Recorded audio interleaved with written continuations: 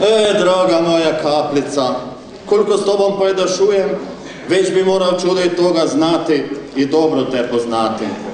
No, kak zgledi, ja te poznam joko slabo, kaj ti mene joko gostu peleš v grabo. Rekaj bi jo, kak i moja žena, da si ti velika vražica, a ne kak gospodin v cirkvi velidu Božja kaplica. Još velidu, da si krepost, snoga, ja bi rekel, ma hujša si ti od samoga vroga. Ali, ali pogledajte vi, drogi moji, kak je lepa i na črleno vleče, a tu nutri vam me tak lepo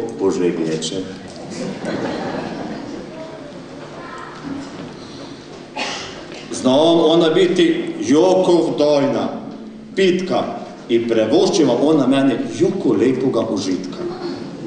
Ali pazite, ona vam je čudi joko bude, a moja žena veli da se žnjo v meni tri vrogi zbode. Jen mi se nazove Riva i sirota moja žena komaj kaj ostane živa. Riga on same gardobe i grize bi grize kada ima konjske zobe. Drugi pak, sevle z moji oči vum. I verovali i vi ili ne, moja žena komaj pobegne vum. A on pak tretji, dok me v rokoj zasrbi, kaj bom drugo rekel, moja žena prav za prav pred menom leti. I da nema ona krila taka kanga sveti, i da ne je dospjela na vrata zasundjeti, ne bi ona već bila živa. Vište, a za sebi on to bila ova kaplica kriva. I vi meni rečete, je ona bliže Bogu ili vrogu, a jemne vam ona meni bormeš i snogu. I vkadi me saki put i hiti me pod stol spot. Tu po stolu me ostavi spati, pa kaj bi onda moge s Božjom kapljom zvati. Bormeš, prava mi je moja žena da veli, vraže je to kaplja i peklena. I vse na svetu bi ja moja žena dola, samo da je to pajdašiju razružiti mogla ili pak znala. Klopra ona cele dneve takav zvon i posvodio ona mene žnjom, veli, ili ona, ili jo. A kaj si negda morem zbrati, se zno.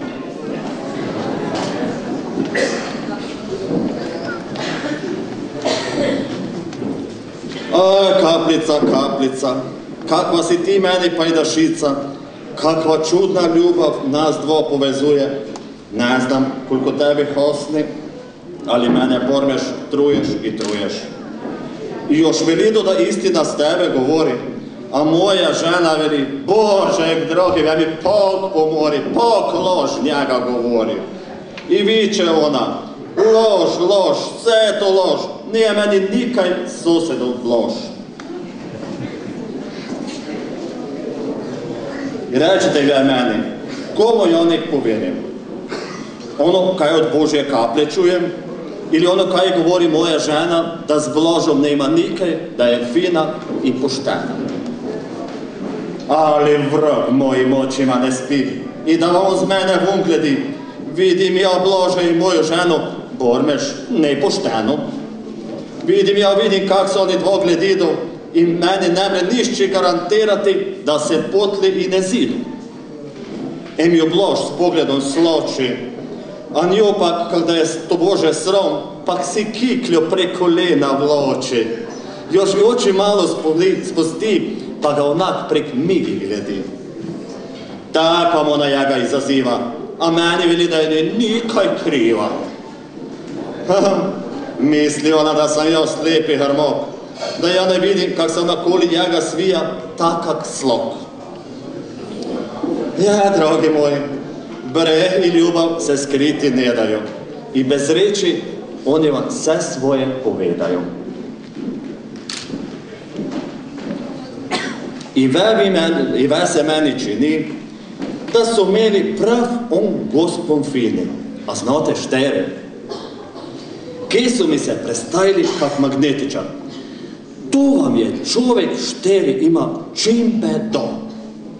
Slepilo, slepilo on na vas hiti i more vas odevčiti piti. A, ne odevčiti, nego navčiti. Veli on, da je vino treba piti, tak, kaj si, kaj se dušica, kaj si dušico ne smočiš, kaj se ona vugne, a ti kapljico sebe natočiš. I kaj se v tebi niti jen vrok ne zbudi, nego kaj dalje, dalje trdo spi.